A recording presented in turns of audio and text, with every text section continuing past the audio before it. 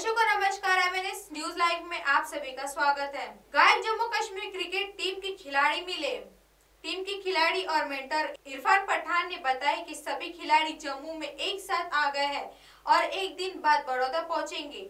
TV पर विज्ञापन देने की योजना ने निश्चित तौर पर काम किया है। गणेश चतुर्थी की पूजा में मुकेश अम्बानी के घर पहुँचे ये क्रिकेटर रिलायंस इंडस्ट्री के मालिक मुकेश अम्बानी के घर एंटेलिया में गणेश चतुर्थी का त्योहार पर सचिन तेंदुलकर सहित जहीर खान, हरभजन सिंह, युवराज सिंह, हार्दिक पांड्या, प्रज्ञान ओझा, पार्थिव पटेल और यूसुफ पठान पहुँचे। सात साल के बच्चे ने कप्तान कोहली से कर दी ऐसी मांग। विराट का एक वीडियो सोशल मीडिया पर वायरल हो रहा है, जिसमें सात साल का एक नन्हा क्रिकेट फ़ैन उन्हें अपना ऑटोग्राफ देता नज़र आ रहा है।